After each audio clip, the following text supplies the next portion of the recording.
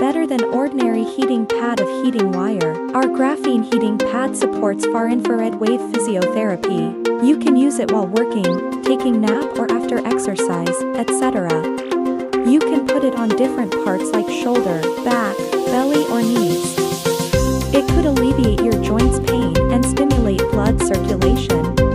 With a clear surface, its multifunctional controller is easy to use. 3 second fast heating